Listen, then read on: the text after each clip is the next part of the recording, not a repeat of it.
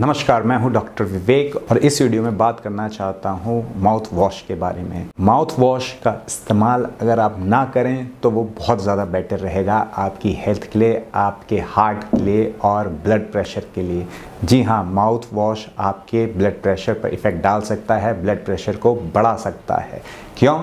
क्योंकि जब mouth wash का हम इस्तेमाल करते हैं तो ये क्या करता है? सारे बैक्टीरिया मार देता है हमारे मुँह के। देखिए, हमारे शरीर में बहुत सारे बैक्टीरिया हैं जो अच्छे बैक्टीरिया हैं। अगर ये नहीं होंगे तो हम ज़िंदा नहीं रह सकते। बैक्टीरिया हमेशा बुरे ही नहीं होते हैं। अच्छे भी होते हैं, बुरे भी होते हैं। जो बुरे बैक्टीरिया होते हैं, वो डैमेज करते हैं हमारी बॉडी में। जो अच्छे बैक्टीरियाज होते हैं, वो हमें प्रोटेक्ट करते हैं, खाने के डाइजेशन में हेल्प करते हैं। सेम सिचुएशन है हमारे माउथ में भी।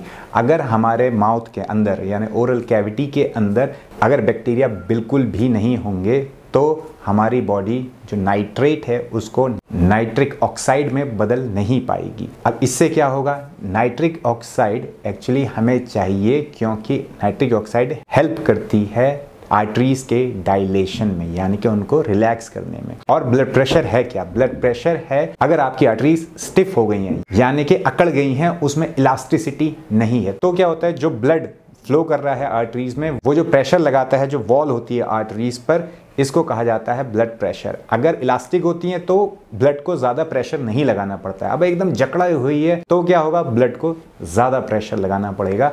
इस वजह से आपका ब्लड प्रेशर बढ़ सकता है। इसीलिए कोशिश करिए कि माउथ वॉश का इस्तेमाल ना किया जाए। जी हाँ ब्रश करिए। सबसे अच्छा है दातून करना। अगर दातून नहीं है तो दंत मंजन का आप इस्तेमाल कर सकते हो, जिसमें कोई केमिकल ना पड़ा हो। अगर दंत मंजन नहीं तो टूथपेस्ट, वो भी नेचुरल वाला रहे तो ज़्यादा बेटर रहेगा।